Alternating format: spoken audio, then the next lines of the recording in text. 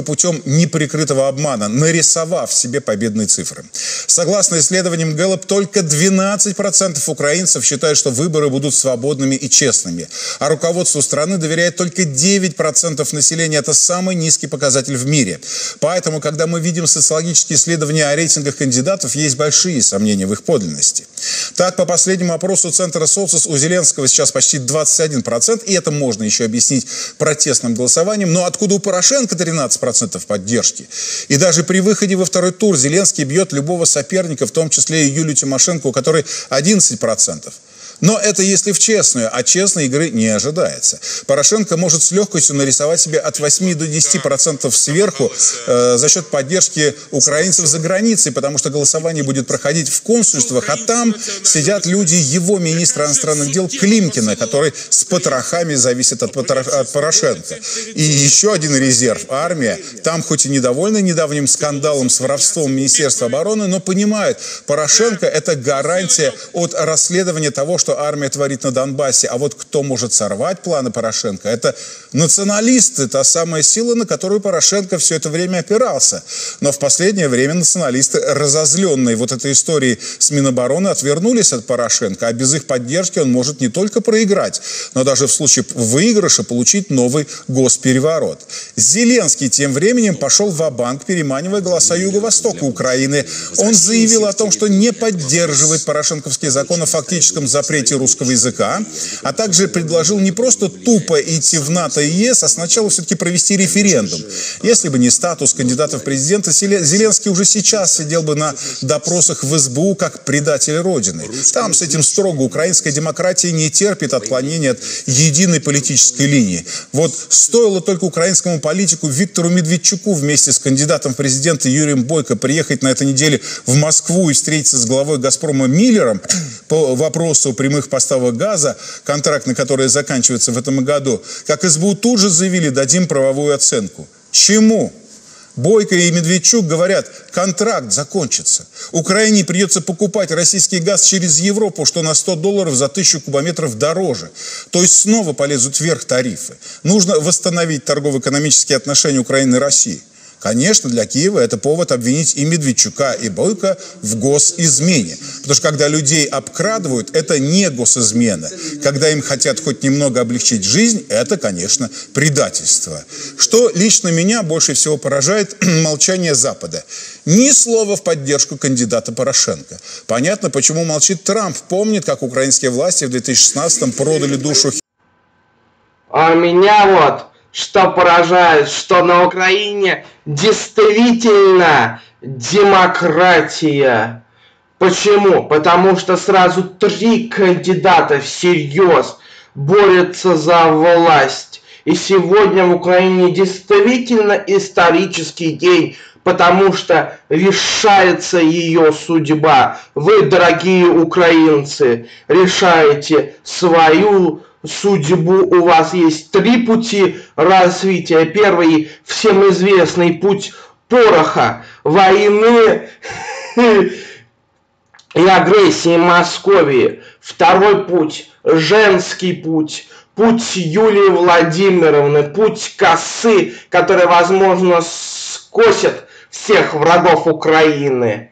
И третий, самый такой неожиданный путь, путь Юле примириться с Россией, но быть, так сказать, независимым, действительно, а не на словах, государством. В России такого выбора, поверьте мне, нет, ибо в России можно выбирать только между Путиным и Путиным, а иногда между Путиным и Медведевым. Но это все одна преступная шайка, лейка.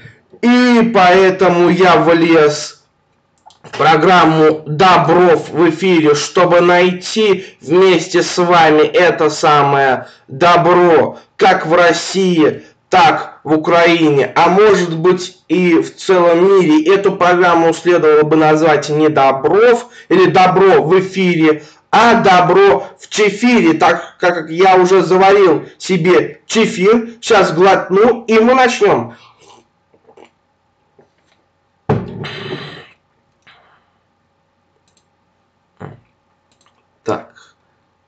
Начнем, начнем. Сегодня в программе сфотографировали и отогнали американский Б-52 у границ Российской Федерации имитировал ядерный удар по моей стране. Расскажу все детали этого. Кремль предупреждал раскрытые детали отказа Грудинину в депутатском мандате. Вот, пожалуйста, казалось бы, Грудинин человек, который занял второе место на президентских выборах в России в 2017 году, с 8, ну ладно, 9, хорошо, 10 процентами, он, но тем не менее никакого электорального угроза Путину он не представлял. И все равно сразу три, э, одно административное и два уголовных дела заводятся против него. А? Отец Началовой назвал ее виновницей собственной смерти. Это не совсем так. Я расскажу, почему отец Началовой э, врет. По моему собственному убеждению, хочу это подчеркнуть, дабы он на меня в суд не подал. Так, спецпрокурор Мюллер не нашел доказательств сговора Трампа с Москвой. 17 мгновений Дональда Трампа и Гуянский щит. Россия создает военную базу в Венесуэле. Ну что ж, я вас, россияне, поздравляю. Мало вы э, свою кровушку полили в Сирию, в Сирии, так еще будете свою кровушку поливать и в Венесуэле. Причем обильной рекой. Так, сейчас у меня все. Ага, ага, вижу, вижу. Так. А, а, Россия э, сфотографировали и отогнали. Так, американский Б-20, Б-52 у границ Российской Федерации. Так, ну, вот вы видели, вы видите этот самолет на своих экранах, значит, э, и еще раз, так, сфотографировали и отогнали американский бомбардировщик Б-52, который имитировал бомбардировку Балтийского флота и нанесение ядерным ударом крылатой ракетой по Санкт-Петербургу, родному городу президента Российской Федерации отогнали наши Су-27. Думаю, неспроста американцы выбрали этот город для учебной атаки по нему. Самолет США пролетел всего в каких-то 150 километров от границы России. В этой связи два российских истребителя были подняты по тревоге в небо, чтобы сопроводить, а в случае крайне крайности и уничтожить американский стратегический бомбардировщик. И вроде бы самолеты Российской Федерации молодцы, отогнали супостата от границ Российской Федерации и границы на замке и показали штатам, где Кузькина мать. Но если бы не одно «но», ВВС США заявили, что в воздухе около границы Российской Федерации был не один бомбардировщик Б-52, который вы видите на своих экранах, а сразу четыре, то есть три бомбардировщика США, российские комплексы ПВО и ПРО проморгали. А в случае войны наши ВКС смогли бы уничтожить чисто теоретически только один бомбардировщик США из четырех, а три другие спокойно бы отбомбились по целям в Российской Федерации ядреным оружием, как я его называю. Вот так-то. Вот он, триединый удар по России украинско-западной коалиции, на который намекал на прошлой неделе Порошенко. Вот что заявили в Министерстве обороны Российской Федерации, что в последнее время слишком часто НАТО проводит разведдеятельность у, у границ Российской Федерации, что не может не вызывать беспокойства. Это, конечно, так. Но у меня возникает беспокойство другое. Вот в связи э, с этим в моей родной Самаре были проведены учения гражданской обороны. То есть рано утром включили в городе сирены воздушной тревоги. Казалось бы, так и надо действовать в условиях, когда американцы отрабатывают ядерный удар по России. То есть проводить э, учения гражданской обороны, которые направлены на то, чтобы граждане в случае возникновения ядерного гриба, гриба над Москвой и Санкт-Петербургом и знали, что им делать. Но включили сирену-то на бумажке, то есть заявили об этом, а де-факто ее не включили. Либо включили, но не на полную громкость, либо включили, но совсем в центре города, совсем прям около здания правительства Самарской области. А в остальной Самаре нет. В Сама... Поверьте мне, вот то есть я такой открываю, значит, э, ленту новостей, смотрю там учение гражданской обороны, потом открываю вот издание газета РУ, смотрю, бомбардировщик американский пролетел над нашей, э, около нашей границы и э, имитировал ядерный удар. И понятно, почему э, были учения стороны МЧС гражданской обороны. Но эту сирену я не услышал, сирену э, о воздушном нападении. Я тупо проспал. А вот представляете, если бы был бы нанесен реальный ядерный удар, от меня бы остался только пепел. Ау, МЧС, вы врубайте сирену такую, ну, чтобы всем было слышно, чтобы прям, ну, прям, чтобы прям уши закладывало. То есть включили они сирену около в центре города, и то не во всех местах. И все, и отчитались и все отчитались перед вышестоящим начальством. А как же остальные жители? Их что, не жалко в радиоактивный пепел, что ли? Их что, не жалко, что ли? Они в радиоактивный пепел должны обратиться. Вот так вот, да. Так, удар США по Российской Федерации был бы, если был бы неучебной, то российское правительство не смогло бы защитить от вспышки бомбы мирное население. Я уже сказал почему. Поверьте, не, не я один не услышал учебную тревогу, а МЧС заявляет, что она была. Это означает, остался бы сейчас сам Мари уголек, пепел от многих жителей города. И это на примере одного города. В других городах, я думаю, ситуация такая же. И заметьте, я еще не говорил, что Министерство обороны Российской Федерации профукало 3 из 4 бомбардировщиков, хотя это говорил. Так что готовьтесь, россияне, к тому, что вы превратитесь в пепел. Развязка ваших судеб близка, и все из одного человека в Кремле подчиненные которого очень плохо чисто географически рисуют, чисто не, географически, а чисто графически рисуют удар по Флориде. Подопечные которого делают новую ракету противовоздушной обороны, но забывают про новые средства доставки ее. Это я сейчас про С-400. Да, там действительно э, сама ракета в С-400, она новая, да. Но вот средство доставки, непосредственно сам комплекс, это старый С-300. Об этом рассказала Латынина в коде доступа на радиостанции «Эхо Москвы».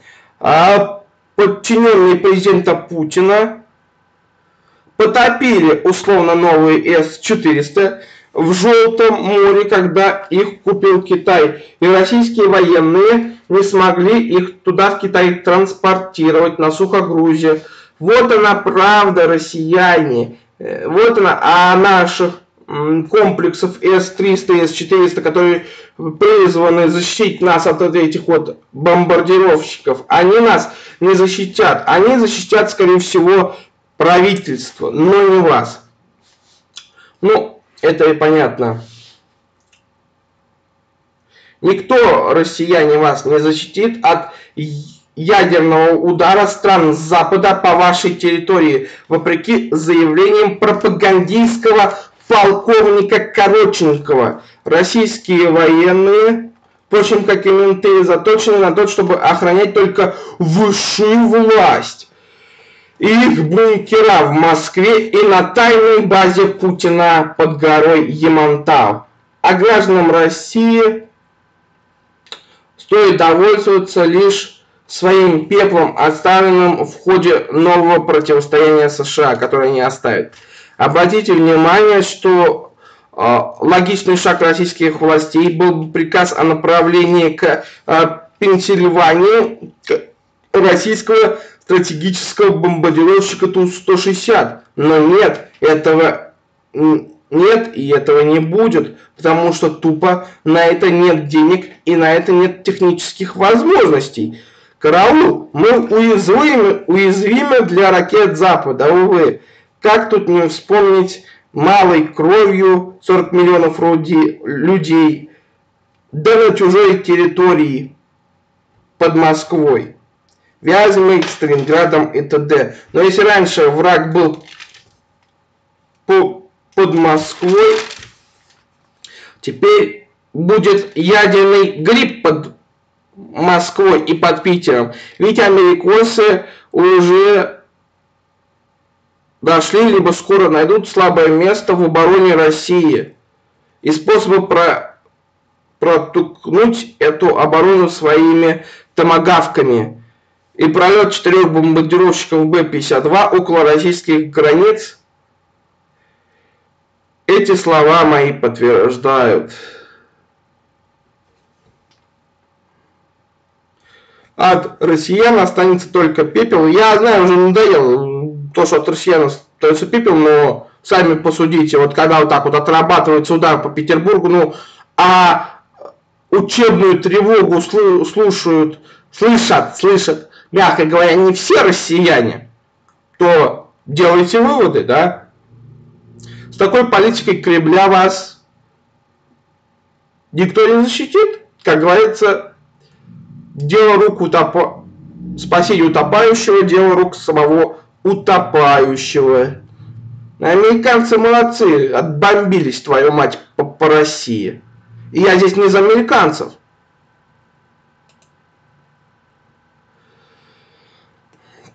Кремль предупреждал, что не надо быть против Вовки даже с рейтингом 9% э, против 60 кандидатов в президенты страны 2017 года. Павлу Грудинину отказали в депутатском мандате от КПРФ в Государственную Думу который стал свободен сразу после смерти Жора Салферова. Основанием для отказа в регистрации Грудинина как депутата Государственной Думы стало, стали его счета в западных банках. Кстати, он держит свои деньги именно в швейцарских банках, как в свое время и основатель партии Владимир Ильич Ульянов-Ленин. Если мне память не изменяет, могу ошибаться, он даже был управляющим швейцарского банка или, или работником. Так что в этом идеологического противоречия, то, что Грудинин хранит э, свои счета в швейцарских банках, и с коммунистической, с марксистско-ленинской идеологией тут идеологического противоречия нет. Да. Павел Грудинин, как... Угу, ну, про деньги я уже сказал. Так. Понятно, что это шикарный повод для избавления от неугодного Кремлю кандидата. Пусть в отличие от Навального и не самого опасного для Путина кандидата. Напомню, что Павла Грудинина также незадолго до тиранического заседания Центральной избирательной комиссии лишили статуса депутата Московской областной думы из всех тех же офшоров за рубежом. И Павел Грудинин фактически остался без законотворческой деятельности. И как старший товарищ, и как друг э, лидер партии Геннадий Андреевич Зюганов подставил свое братское плечо Павлу Грудинину и сразу после трагической смерти Журы Салферова э, Геннадий Андреевич хотел вручить Павлу Грудинину статус депутата Федеральной Думы. Но не тут-то было. Коварный Кремль не дремлет и через свою сучку для случки э, Эллу Панфилову, которой хватило наглости не появляться на заседании в ЦИКе, э, ЦИК зарубил на корню статус Грудинина как федерального депутата от КПРФ. А тут еще у Павла Грудинина требуют многомиллионные компенсации за развод, э, которые, впрочем, тоже арестованы по делу аж 1995 года, которое всплыло сразу после президентских выборов 2018 года об обманутых пайщиков, которые через 25 лет после президентских выборов, обратите внимание, вспомнили, что они обманутые пайщики. А до этого они что, были не обманутые? Ясное дело, им позвонили из администрации президента и сказали, вы теперь обманутые пайщики, вы должны требовать компенсацию с Павла Грудинина. А то, что 25 лет вы не требовали, ну так на это пфф, насрать.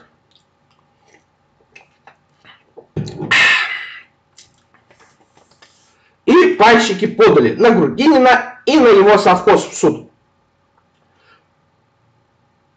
Это тройной, фактически тройной бюрократический наезд на Павла Грудинина.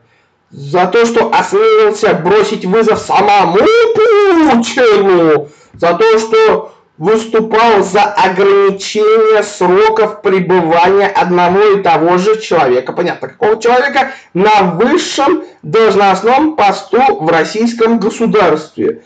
Вот то, что отличает Россию от нормального государства, а Путина от нормального лидера нормальной страны. В нормальном государстве не стали бы мстить человеку, который победил остальных не главных кандидатов, ну, то есть занял второе место на выборах. А в России жестко расправляются со своими оппонентами, даже если они получают на выборах смехотворную поддержку населения в 9% голосов.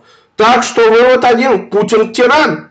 И эта тирания вновь доказана фактами. На то, что сразу три дела на Павла Грудинина. Значит, дело по поводу э, непосредственно совхоза имени Ленина.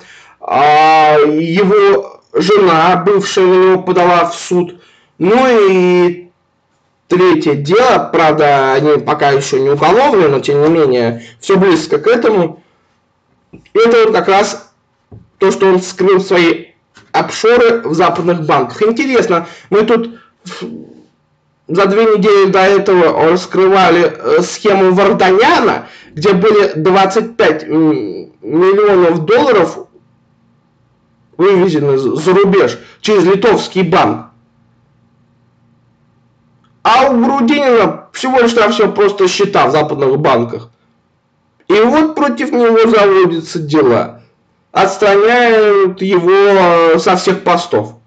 Ну это разве справедливо? Нет. Так что, боюсь, теперь вместо клубники у него будет, сами понимаете, какая субстанция. Коровья лепешка, так ее в деревне называют. Да. Наверное, Павел Грудинин был бы хорошим депутатом Государственной Думы Российской Федерации – но ЦИК выполняет строгий приказ Кремля, который гласит о том, что а нечего было вякать про ограничение сроков нашему любимому диктатору Владимиру Владимировичу Путину на своем посту. Вот и получает три дела.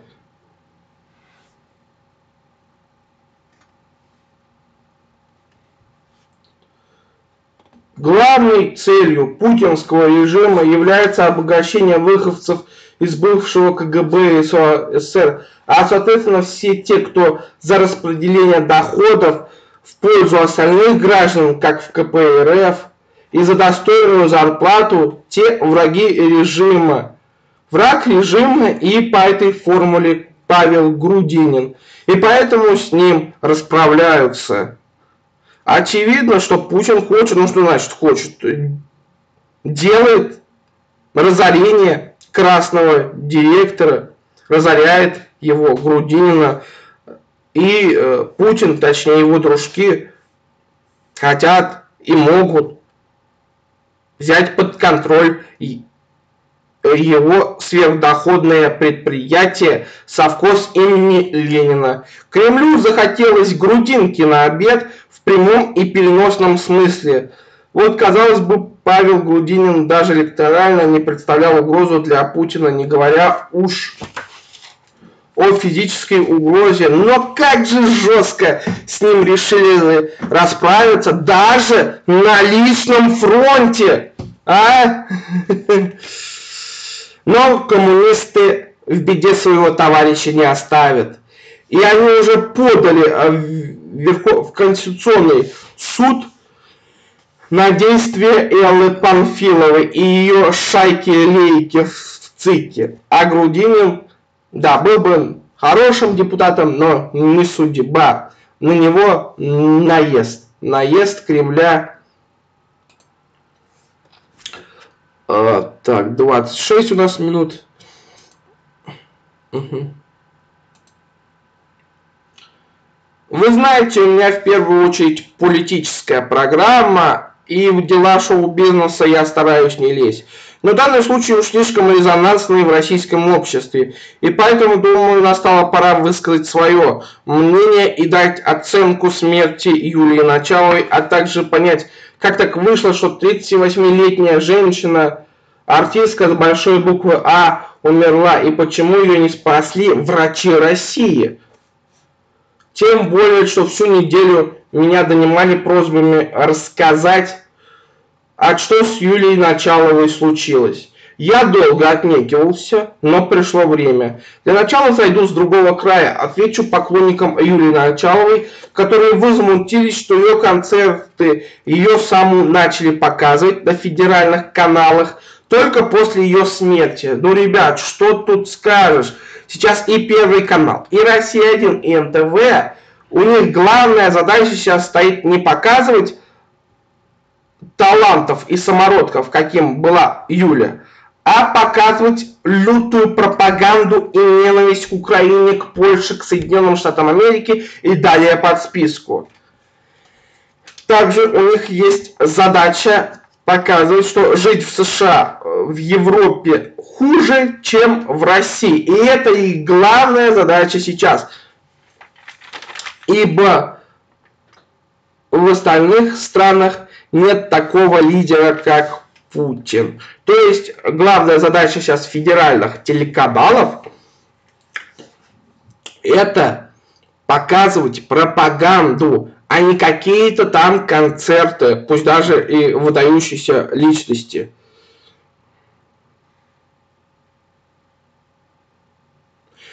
Ну, не о Путине сейчас речь, а о том, что что бы ни случилось, кто бы не умер, ну, если это не Путин, конечно, то все равно выйдет в эфир, время покажет, 60 минут, место встречи НТВ, даже если да, и убьет Путин.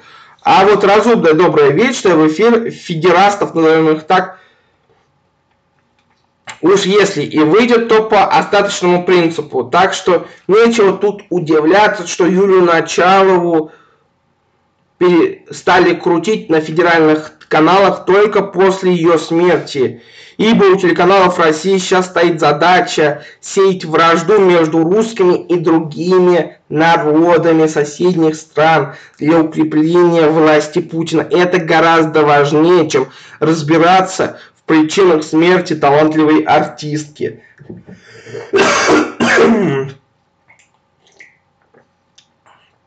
И вообще показывать талантливую артистку. Да, фанаты Юли Началовой возмущены. Но вы сами отчасти создали такое общество, в котором поли, политолог Якуб Кавейба важнее любого талантливого певца или певицы. Дальше, что называется, пропагандистов задница горит. Они понимают, что из-за их действий или за их бездействий, из-за их решений уделять эфирное время политике и политологии, из-за этого самого надо было не очередной программе, и они понимают, что неправильно своих действий, что не надо было уделять время эфирное очередной программе про Украину, а надо было уделять эфирное время Юлии Началовой, к примеру. Они понимают это, но человек все равно уже ушел из жизни и сделать уже ничего нельзя. И поэтому эти телебоссы России пытаются компенсировать факт своего просчета программами об артистке или артисте после смерти. Ну а теперь к самому фактору гибели артистки.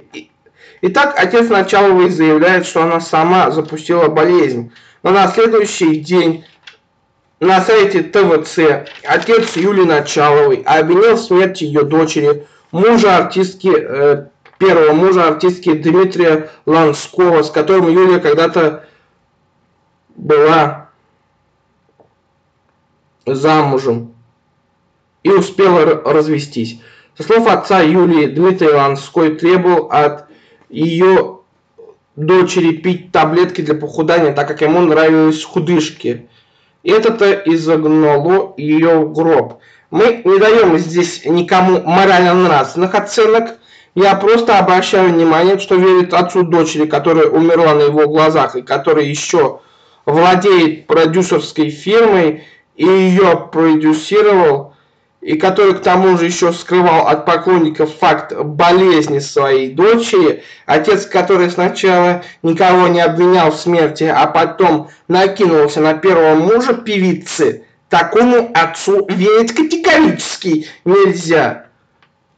Это не означает, что Дмитрий Ланской, ее первый муж, белый и пушистый. Это означает, что отец Юлии Началовой наглый и циничный врун, и ни единому слову ему верить нельзя. А особенно, когда он говорит, что врачи, врачи сделали все, что могли.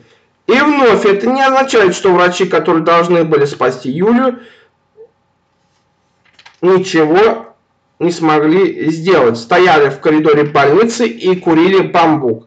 Вовсе нет, просто отец либо не знает, либо не договаривает всей правды. Итак, главной причиной смерти Началовой явилась сердечная недостаточность. За три дня до смерти певицы я стоял на остановке и слушал по радио эфир, естественно, «Эхо Москвы», посвященный вниманию запрету трех жизненно важных лекарств в России из Японии. В их числе и э, препарат от сердца амиодрон. Амиодрон, да?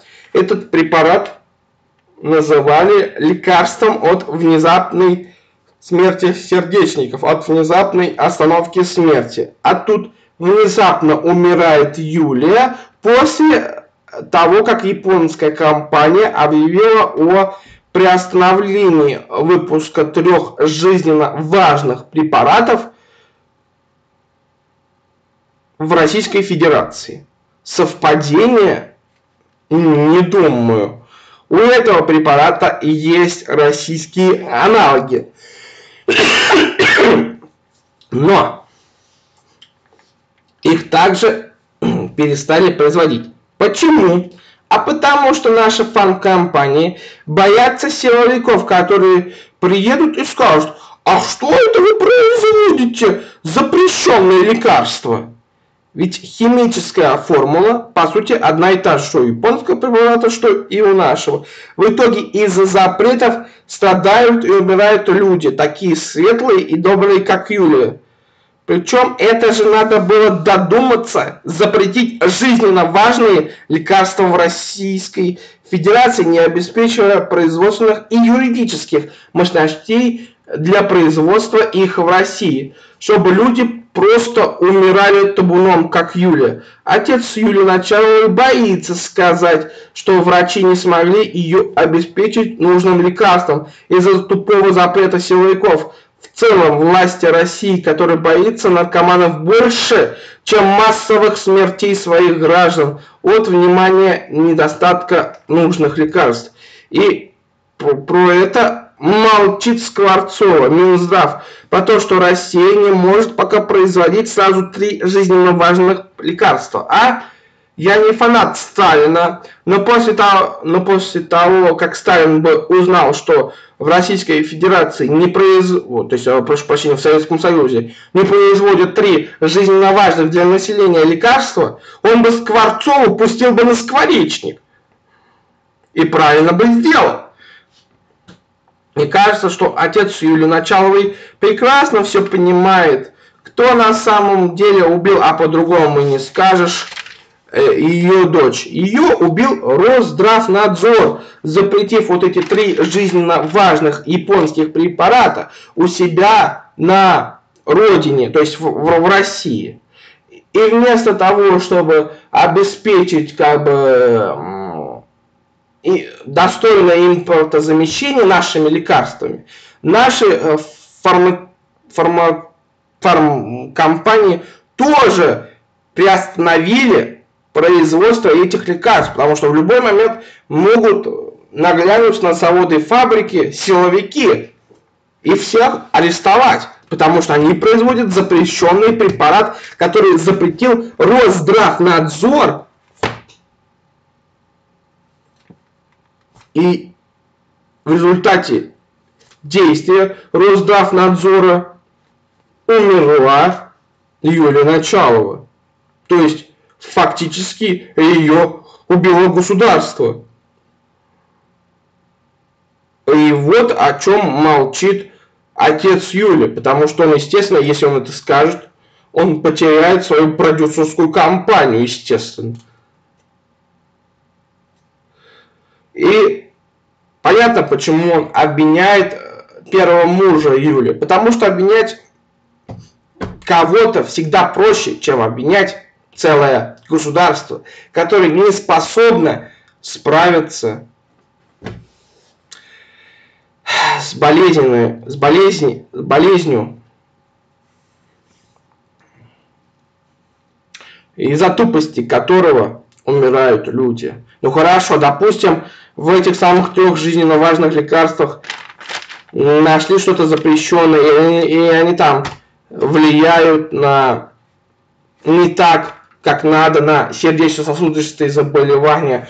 Ну так вы, блин, вы поинтересуйтесь, а почему наши фармкомпании-то перестали производить? Нет, Росздравнадзор это не интересует. Им бы лишь бы запретить, лишь бы оставить россиян без нужных лекарств. Вообще еба там совсем, а.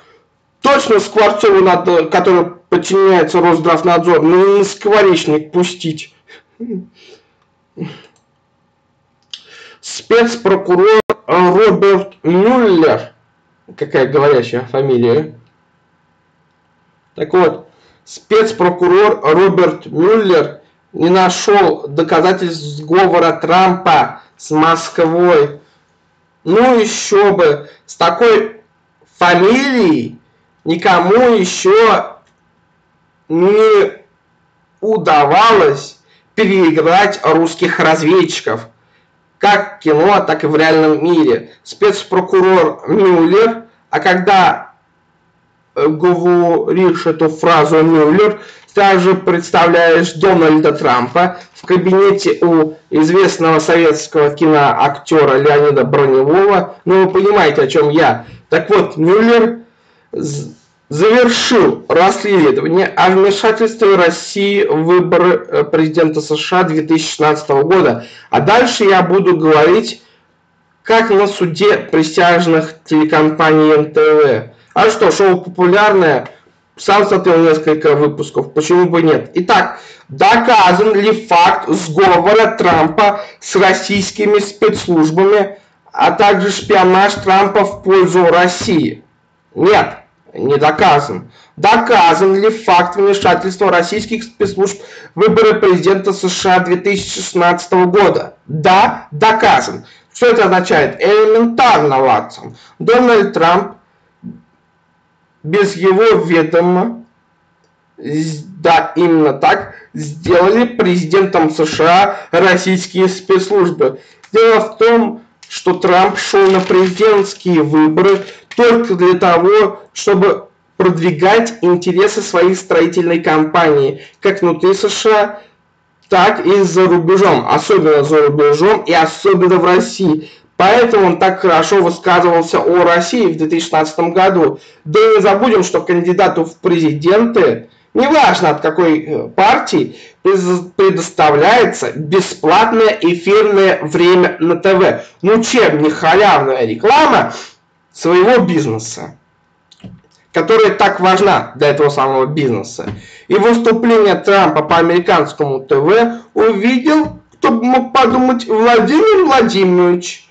И у него в башке сомкнуло, хм, он за хорошие отношения с нами, а почему бы не вмешаться тогда на его стороне выборы президента США? И отдал приказ хакерам ГРУ?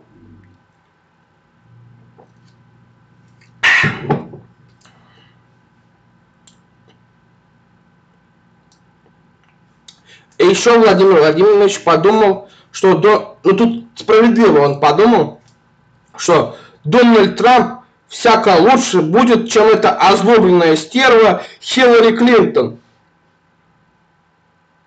А Дональд просто хотел иметь хороший бизнес в России через халявную рекламу, которая предоставлялась ему как кандидату в президенты Соединенных Штатов на американском ТВ. Никто реально не верил, что за него проголосует и он станет президентом США. А Путин перед выборами 2016 года подумал, а почему бы и нет? Трамп лучше, чем эта зловредная тетка. Тем более, что эта тетка, я вновь про Клинтон, содействовала в уничтожении диктатора Ливии Каддафи. И опыт удачной борьбы с тиранами и диктаторами уже у нее есть. Поэтому Клинтон была крайне опасна для Кремля.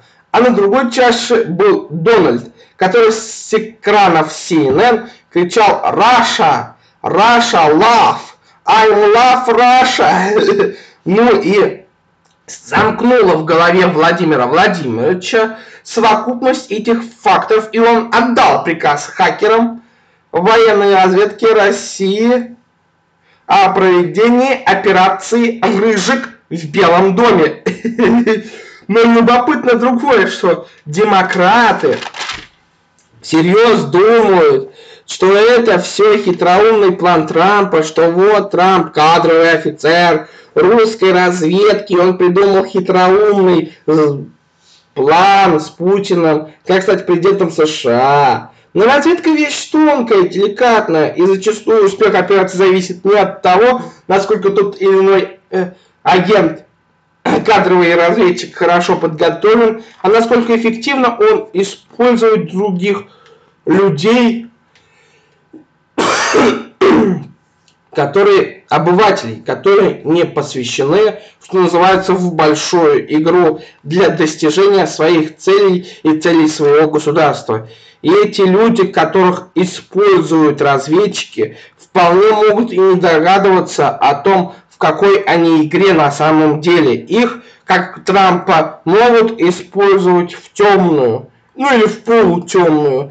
Это всегда гораздо более эффективнее использовать лояльных для тебя людей, но не кадровых разведчиков в чужих странах, нежели чем непосредственно агентов своей разведки. Или же кротов, которые могут и перебежать на другую сторону и стукануть ФБР. А тут нечто другое. Трампа, лояльного к России втихую в темную, использовали кровавые гибисты. И вот это демократам не понять. В частности, это не понять Нэнси Пелоси. Агент разведки всегда может предать, а лояльный, любящий другую страну человек нет. И поэтому эффективность его использования в тайных, на то не тайные спецоперации – эффективность его гораздо более выше, чем любого агента. Он ничего не знает. Он думает, что раз уж я люблю Россию и говорю об этом, и говорил об этом 2016 году меня поддержали американцы, то все честно, меня любят американцы. Шоу, какие русские хакеры. А тем самым, на самом деле, раз, раз, раз, там, раз, зашла какая-нибудь она чат в кафе, там, парочку программ, и все, подкрутила цифры, и все, Трамп уже президент. То есть, конечно же, никакого сговора Дональда Трампа с Россией не было и быть не может. Но в то же время его втихую, в темную использовали русские разведчики ровно потому, что он любит действительно Россию. А? И вот это демократам не понять. Но с другой стороны, если бы эта история повторилась бы у нас в России, Трамп бы сел и надолго за любое малейшее подозрение в сговоре США, как сидит бизнесмен Калви сейчас. Чайка это вам не Роберт Мюллер. Она больно может цапнуть, даже если человек не виновен. А Мюллер все-таки достойный человек своей страны. Честно признался, что доказательств нет. Но демократы не сдаются и подают, точнее хотят подать иск в Верховный суд США. Радует только одно, что Дональд, Дональд, что Дональд, Дональдович Трамп едет в Вашингтон. Он едет работать. Но вы понимаете, о чем я. Я прошу очень недолго, Иванка, ты покинь меня. 17 мгновений Дональда Трампа.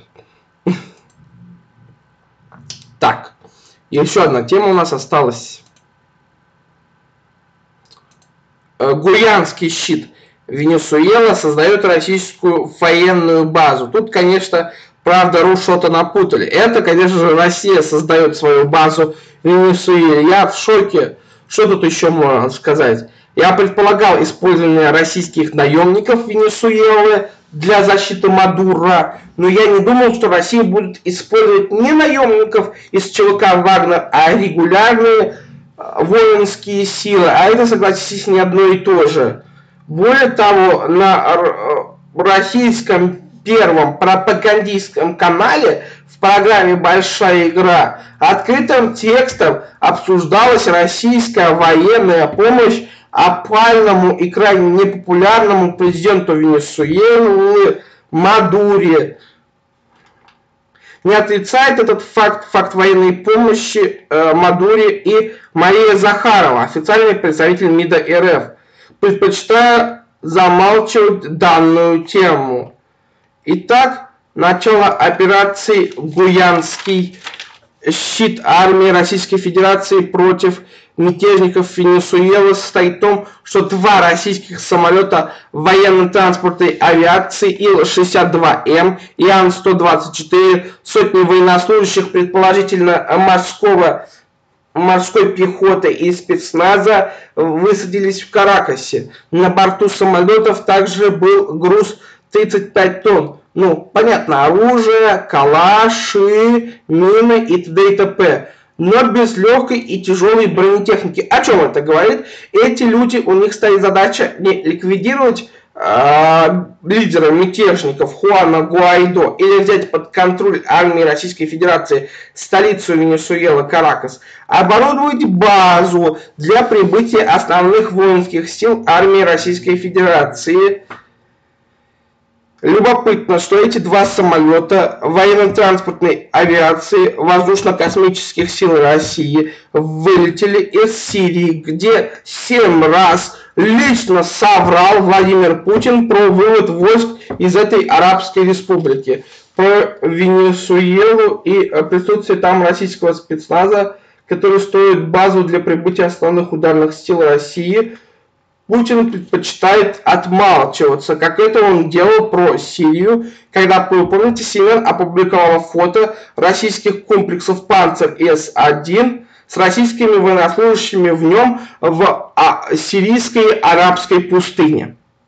А потом уже Путин подтвердил, что это все так и есть, что армия Российской Федерации вмешивается в сирийский конфликт. Вот так же наверняка будет и здесь в операции «Гуянский щит». Ситуация в чем-то действительно похожа. Только в Венесуэле нет пока террористов, ну, до прибытия силовых сил России. Теперь мне понятно, почему американцы решили сымитировать ядерный удар по России с их бомбардировщика Б-52. Главная причина это оказывается в том, что Россия начала операцию, и это был а, то, что вот бомбардировщик Б-52 подлетел к нашим границам, это был ответ США на начало операции Министерства обороны Российской Федерации «Гуянский щит». Венесуэл, Венесуэле, которая, как думают американцы, принадлежит им. И это реально их задворки, их задний двор, это Венесуэла. Венесуэла это как Украина для российских войск, где они постоянно там находятся. И вот чтобы такого не было, и чтобы, эм, э, как же сказать, чтобы американцы не поставили своего человека в Венесуэле э, руководить страной, была, страном, страной, была начана операция «Гуянский щит». Но последствия, как всегда, Кремль не считает. Для него главное сиюминутная выгода. А выгода это в том, чтобы сохранить месторождение нефти в Венесуэле под российским контролем. Любопытно, что вся пропаганда нулевых внешней политики России была заточена на то, чтобы упрекать пиндосов в их знаменитой формуле «если у вас есть нефть, тогда американские войска идут к вам». И Путин в нулевые годы тогда говорил о том, что правильно не вмешиваться в дела других стран. Ну и что? Прошло 15 лет, и Россия действует в Сирии, в Украине, а теперь уже и в Венесуэле, так же, как действовала США в нулевые годы на Ближнем Востоке.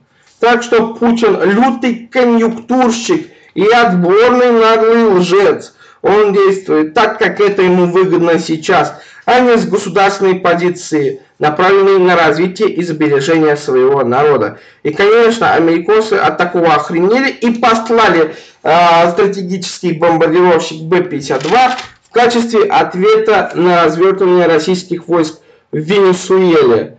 Вторая холодная война уже не просто идет, а в ней ведутся уже широкомасштабные действия как России, так и США. И стоит только пожалеть тех россиян, которые пойдут в армию в этот весенний призыв. Они обязательно подвергнутся физическому и психологическому насилию в армии со стороны офицеров с одной целью, чтобы неокрепшие умы подписали контракт с Министерством обороны Российской Федерации о добровольном их участии, в кавычках добровольном, в горячих точках планеты против пиндосов в Сирии, Венесуэле.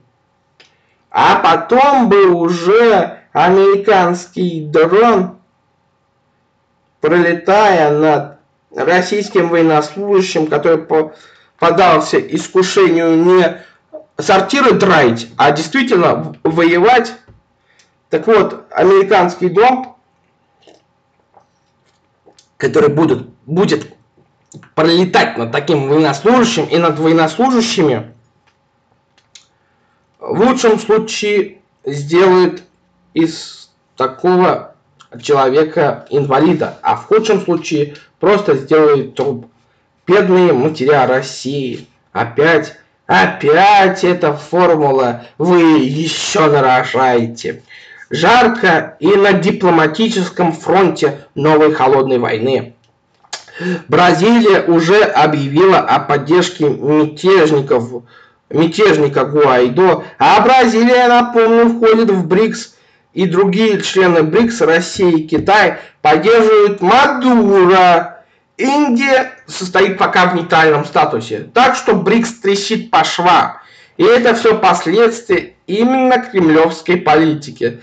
Так в чем же добро? в чем же добро в эфире или в чем же добро в чефире, а в том, что новая холодная война пока не переросла в горячую, а меня лично пока не перебросили в Сирию и в, в Украину. Так что тут стоит процитировать фразу из художественного фильма «Брестская крепость». Все ожидали войну, все представляли войну, но никто не ожидал, что она начнется вот так, так просто и страшно. Сценаристы Беларусь фильма знали, о чем писали. Э, и еще такая новость, от которой я не готовился, которая пришла э, на момент записи программы, а я программу эту записываю в четверг, вчера, то есть в среду, а, арестовали Абызова, бывшего министра открытого правительства, за коррупцию. Вообще надо додуматься, что сделать еще одно министерство, который просто будет министерством и ничего не будет решать. Вот для чего? Ну и правильно он там своровал деньги. Потому что он, с одной стороны, министр, а с другой стороны, ни за что не отвечает. Тут грех было не воспользоваться таким статусом. И у меня вопрос к Дмитрию Анатольевичу Медведеву, а может быть хватит? Может быть хватит создавать какие-то полуфейковые ненужные структуры, а? Может уже пора заняться действительно важным и нужным делом.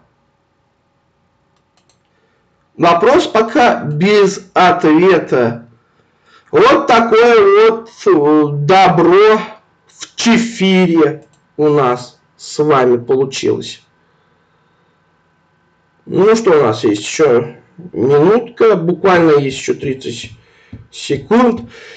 Ой, жалко, что снежок в Самаре пока еще есть. Хочется весны, хочется тепла. Но не судьба пока еще. И апрель этот грязюшный будет. Ой, а там еще субботники. Будут людей сгонять на субботники. Как же это все противно. Поэтому я больше люблю месяц май. Вот теперь на этом все. Спасибо за внимание. Пока.